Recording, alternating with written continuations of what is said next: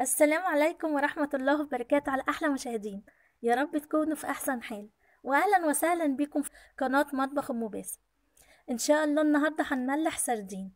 هنعرف كام يوم ويكون جاهز معاكي للأكل. وكمان هنعرف كمية الملح المظبوطة وإزاي نحتفظ بيه. يلا بينا نقول بسم الله.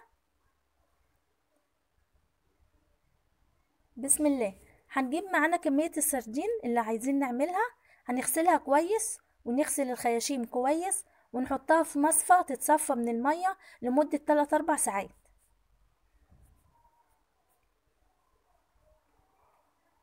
هنحضر لكل كيلو سردين 100 جرام من الملح ومعلقة كبيرة من الشطة.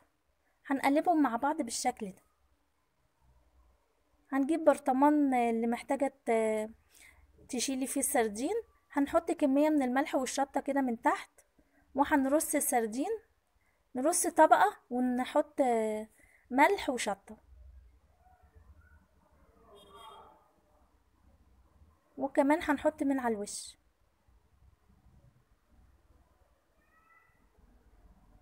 كده تمام.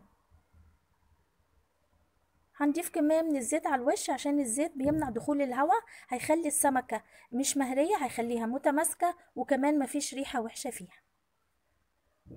هنربط الكيس كويس ونقفل البرطمان بغطا يكون محكم بالشكل ده.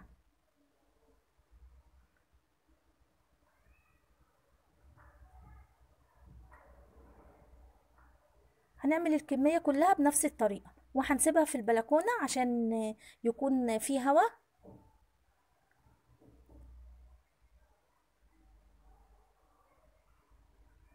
كل يوم هنقلب فيها كده مرة واتنين عشان نتأكد كده إن الملح والشطة في السردين كله. بعد ست أيام بالظبط هيكون بالشكل كده. السمكة متماسكة ومستوية في نفس الوقت مش مهرية ومفيش أي ريحة وحشة فيها.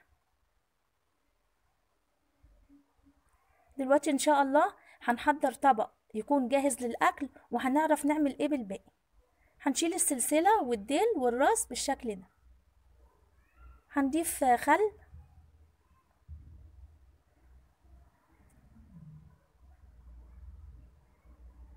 وعصير ليمون.